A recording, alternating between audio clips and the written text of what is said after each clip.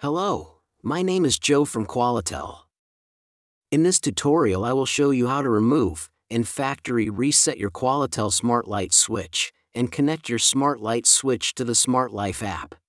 After connecting your Smart Light switch to power, your light switch will start flashing rapidly. Should your light switch not flash, or flash slowly, fast forward the video to how to reset your Qualitel Smart Light switch.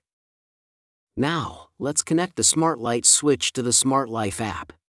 If you have not yet downloaded the Smart Life app and created a Smart Life account, please follow my video how to download and log into the Smart Life app. In the app, on the home page, click the plus icon in the top right corner. Now click on Add Device. Click on Add. Your Wi-Fi name should appear automatically, if not, connect your smartphone or tablet to Wi-Fi in the device's settings page. Enter your Wi-Fi password. And click Next. The smart light switch will start connecting to the app now. Please note that a 2.4 GHz Wi-Fi network is required for the light switches to connect to the Wi-Fi. Now the switch has successfully connected to the Smart Life app. Click Done the app will automatically go to the product's home page. Here you can change the light switch's name, set schedules, and much more. Would you like to know more about the Smart Light Switch's features? Click on the Get to Know Your Qualitel Smart Light Switch link in the comments section below. Now let me show you how to disconnect and factory reset your Qualitel Smart Light Switch. Press on the pencil icon on the top right corner in the light switch's home page. Now, scroll to the bottom of the page and click on Remove Device. Now you will see two options. The first option is Disconnect. If Disconnect is selected, then the switch will be removed from your Smart Life app and Wi-Fi, but the switch's information, like its name will not be removed. The second option is Disconnect and Wipe Data.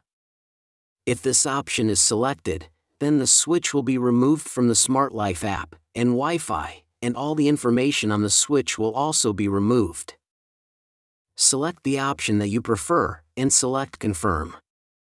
Now your Smart Light switch is removed from the Smart Life app, and Wi-Fi. The app will automatically go back to its home page, and you will notice that the light switch is removed from the home page. Now, let me show you how to reset the smart switch manually. Please note, this method will only disconnect the switch and enable the switch's Wi-Fi for connecting the switch to the Smart Life app. This method will not wipe the switch's data. Please note, this method of disconnecting the smart switch can be followed when the switch is in any state, that is, flashing green, working as normal, or having a solid green LED. To reset the switch, simply press and hold the icon or top icon on the 2, 3 or, four gang switches, for 20 seconds. After holding the icon for 20 seconds, the switch will start flashing rapidly. Now the switch is in Wi-Fi pairing mode, and can be connected to the Smart Life app. I hope you found this tutorial useful.